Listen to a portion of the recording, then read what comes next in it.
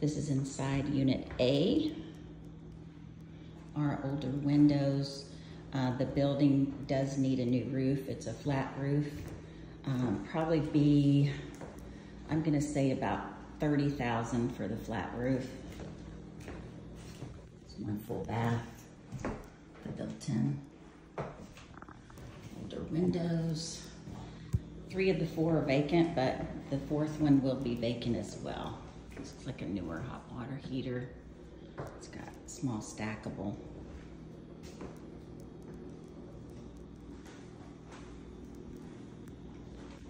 I guess you could put some granite on this. These, these cabinets aren't too bad.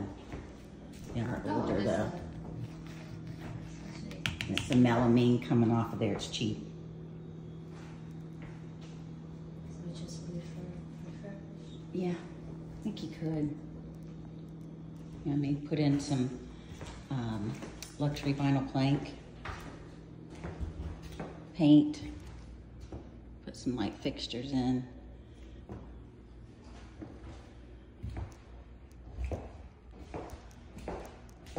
Just have a newer panel, so that's good.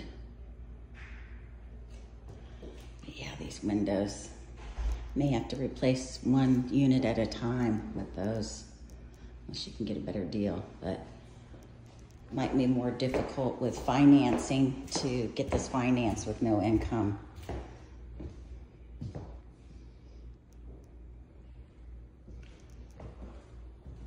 Let's see out back here. See what that You looks like.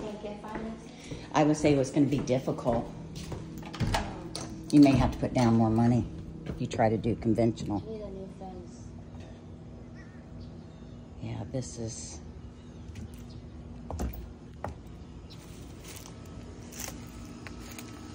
I bet this belongs to this property. Yeah, these ACs are older. Wow, this is gonna need a lot of work. And the tree work here is massive. It's probably gonna be, I bet, $10,000 to do tree work.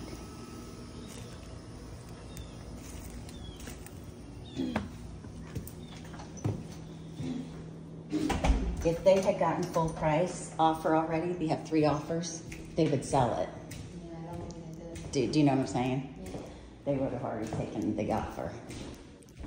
But I think this is a good layout, like it's really spacious. Yeah, yeah. nineteen hundred is not undoable. It's doable. Mm.